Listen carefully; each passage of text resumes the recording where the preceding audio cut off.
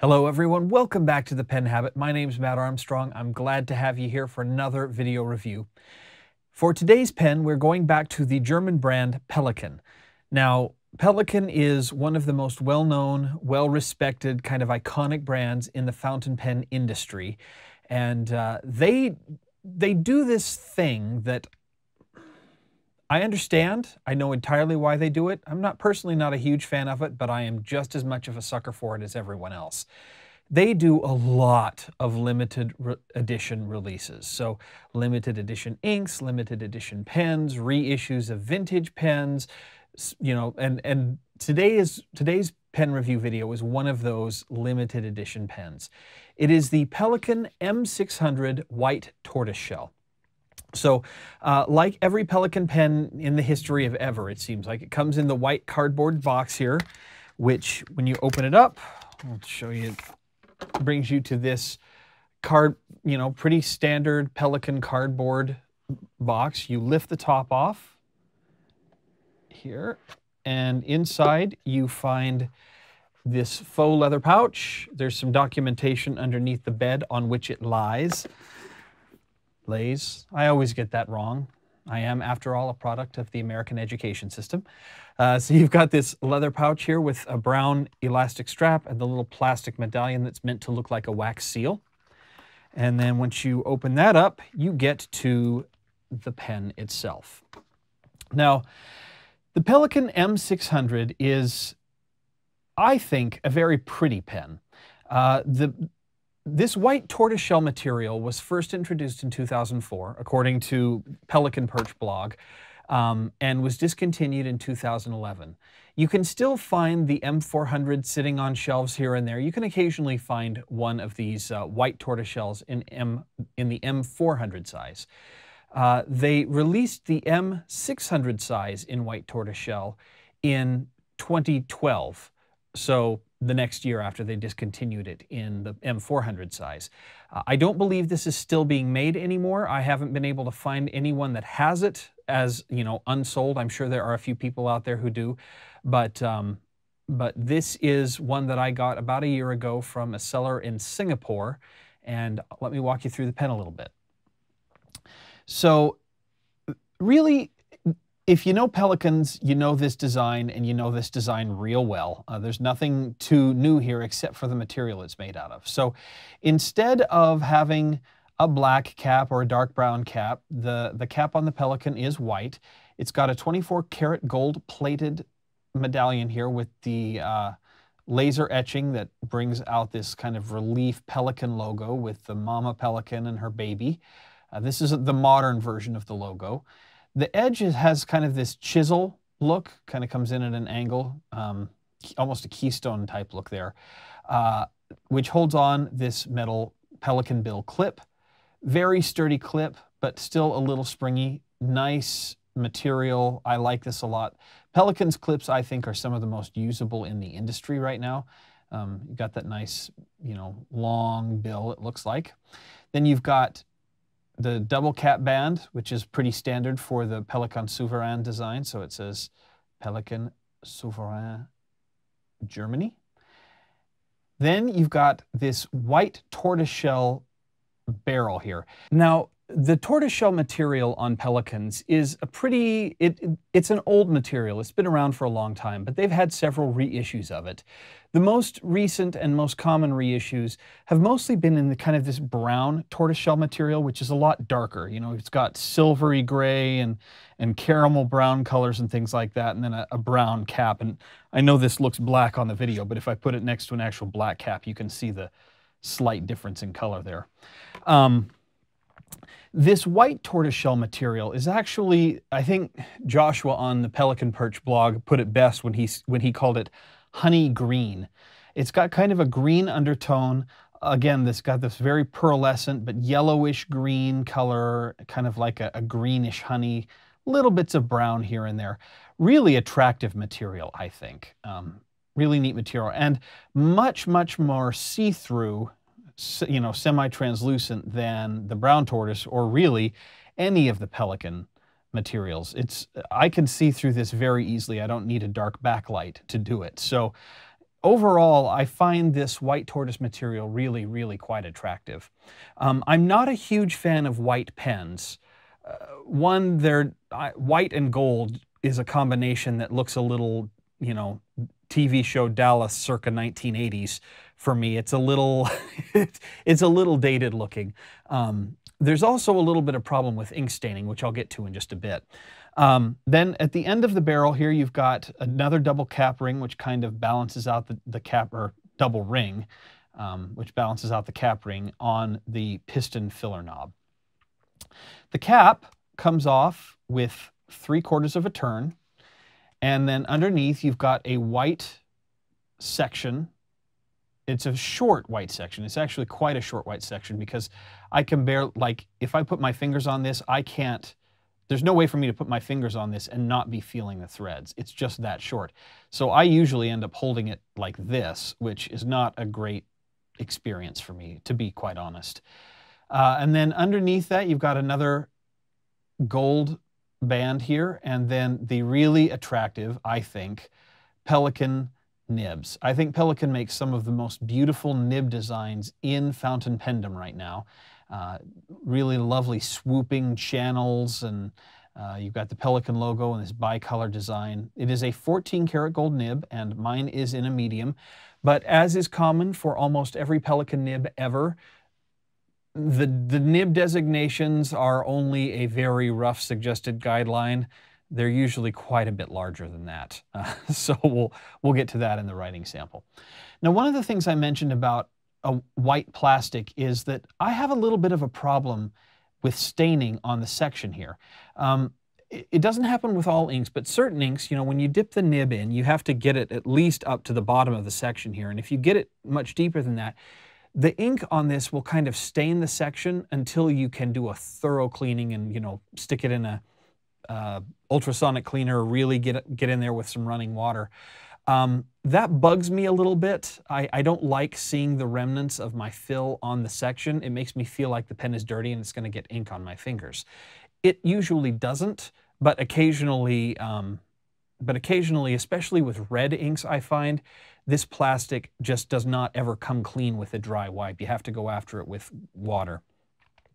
The other thing that's kind of interesting to me, and it's this is a little tactile it, it, I'm going to try to explain a tactile experience, but the plastic doesn't feel as solid or as robust as the plastic on the M800s or uh, M1000s that I've used, even on the M200 Amethyst. This white plastic feels soft. It's not, but it kind of feels more plasticky than resiny, I guess if that makes any sense. It feels cheap.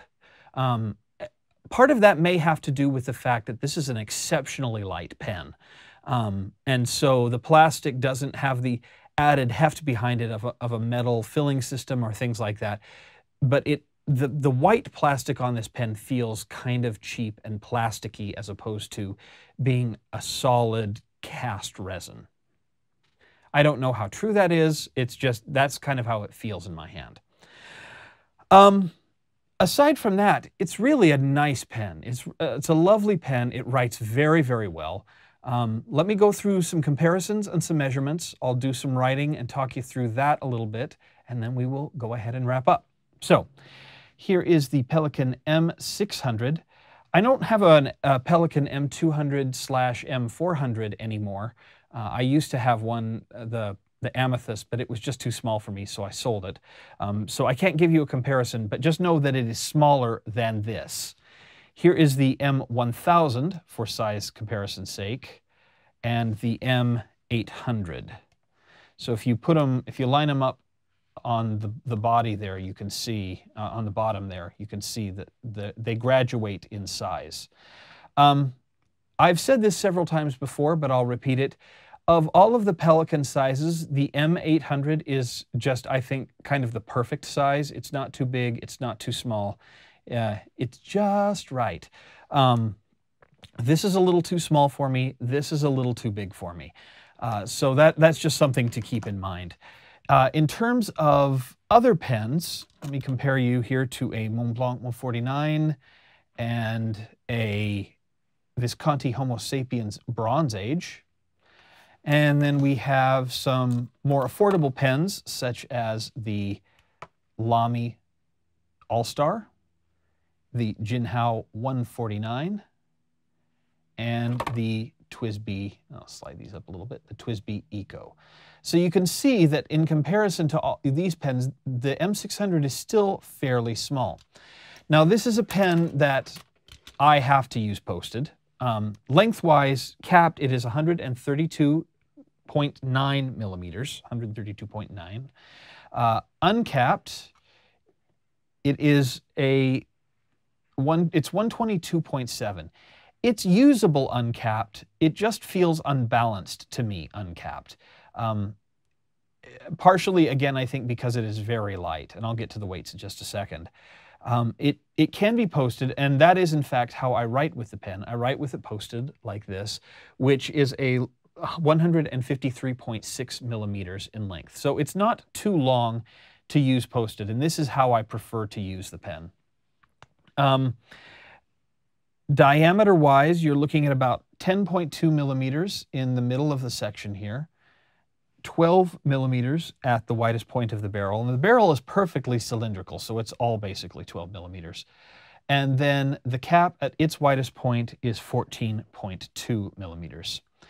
And as I mentioned a couple times, this is a very light pen. It is only 12 grams uncapped, which is very, very light and 19 grams capped or posted. So capped or posted, this pen is actually, oh, don't want to knock everything off the table here. capped or posted, this pen is actually lighter than most pens I use are uncapped. Uh, it is a very light pen. The, the piston filling mechanism is plastic um, and also very lightweight. And this is with ink, I should mention. Now, as lightweight as it is, I will say that the piston filling mechanism on this and every Pelikan I have ever used in the history of ever is the best piston filling mechanism out there. I have said this before, I'll repeat myself because that's kind of what I do on this channel.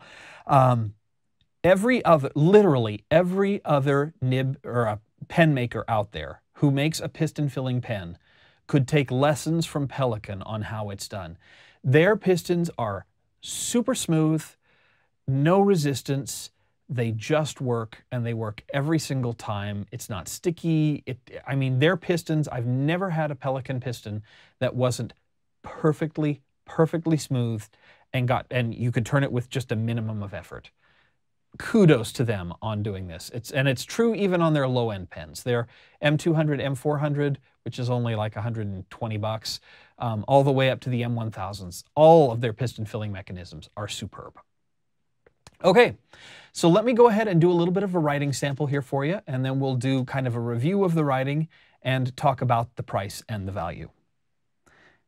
So today we are doing a review of the Pelikan M600 White Tortoise.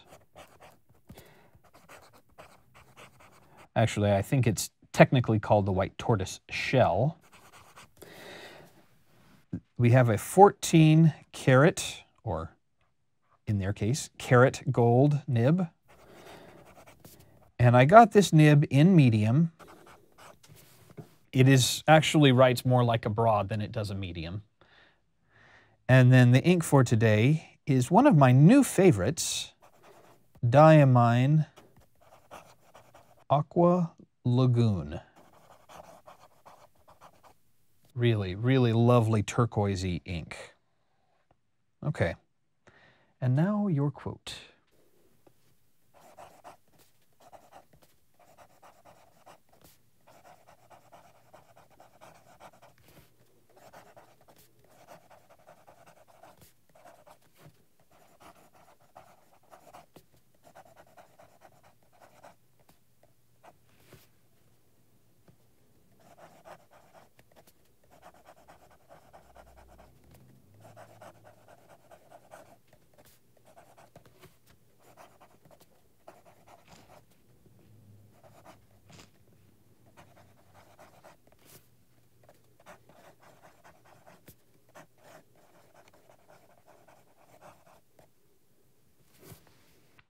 Oops, we, we cannot forget the S on the end there. there we go.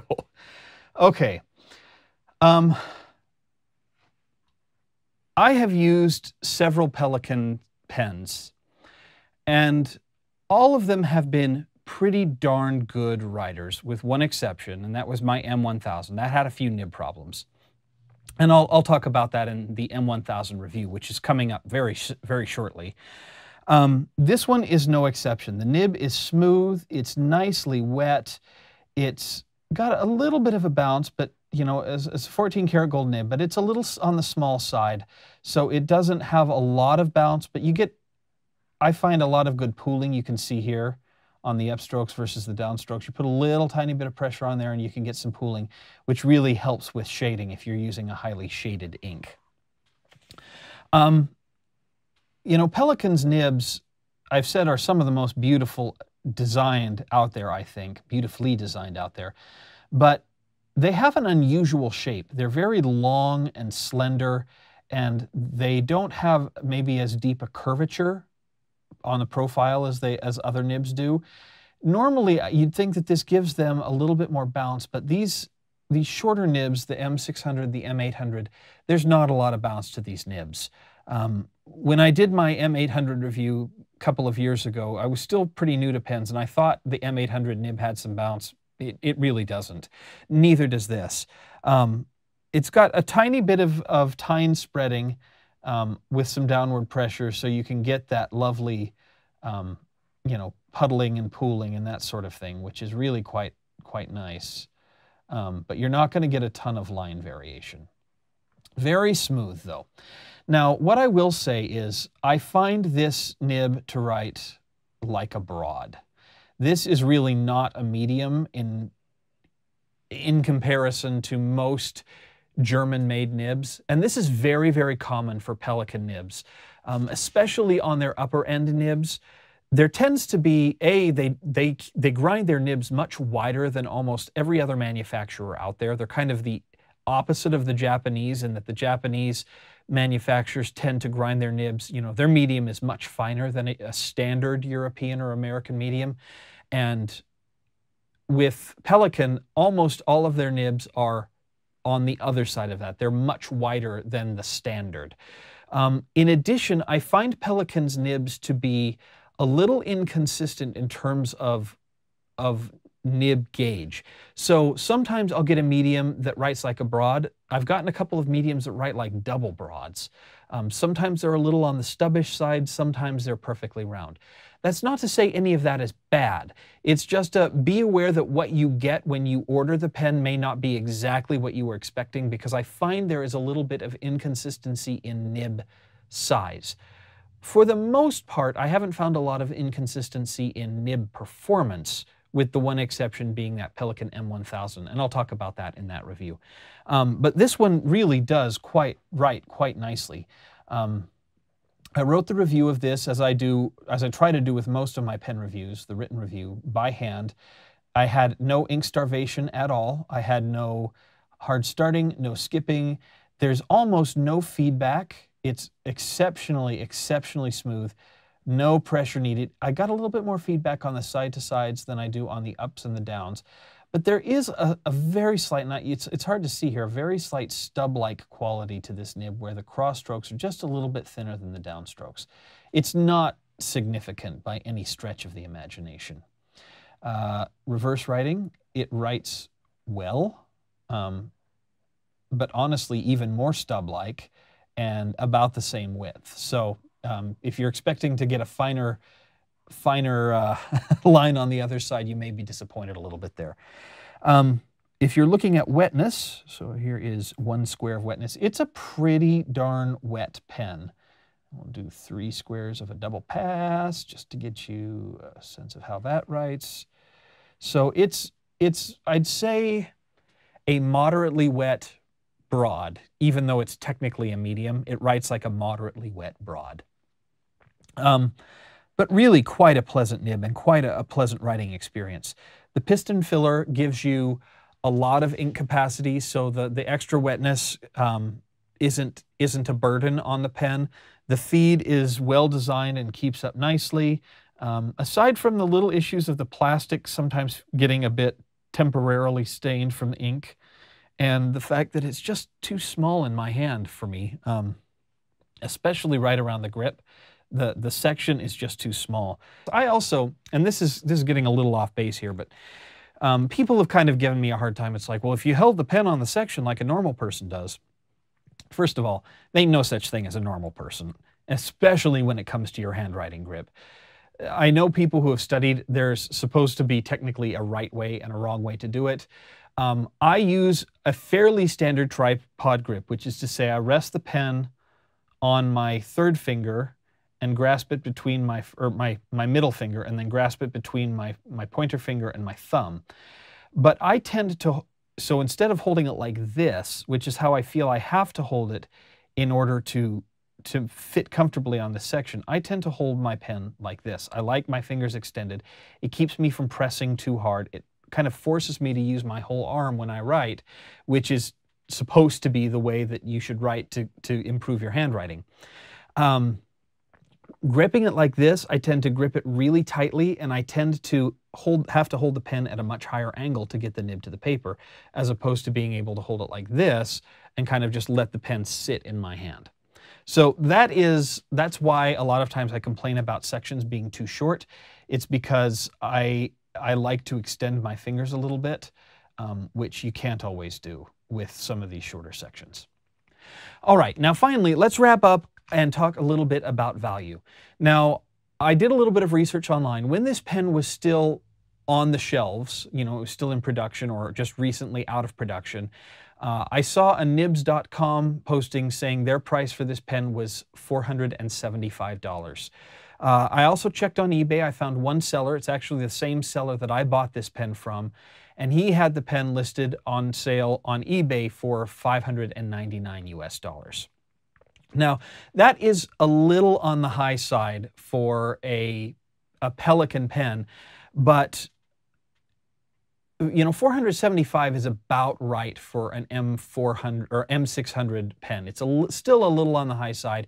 You can get them from cheaper, but uh, for an out of production, very popular version of the pen, 500 $600 is probably it's probably right about in the, the proper range there, uh, especially if the pen is in good shape. Now, when you compare that to let's say an M600. Now this is a brown tortoise. It's another limited slash special edition, so this doesn't count. But a standard M uh, M800, you could get away with paying between you know 500 and 600 dollars for this. I find the M M800 to be a better value than some of these special edition M600s. But if you really love this white tortoise material, you love a white pen, you're not going to find one that writes better, really. I think this pen is just a superb writer, and if it fits your hand, all the better. This is larger than the M200 400, so if you like that kind of in between the, the 200 400 and the 800, um, I think the 600 would be a really good option for you. So uh, that has been my review of the Pelikan M600, Pelikan Souverän M600 White Tortoise Shell, a 2012 limited edition pen. If you have any questions or comments, please leave them below in the YouTube comments or on penhabit.com. You can also email me, penhabit at gmail.com as well. Thank you so much for watching, and we will see you here next time on The Pen Habit. Bye-bye.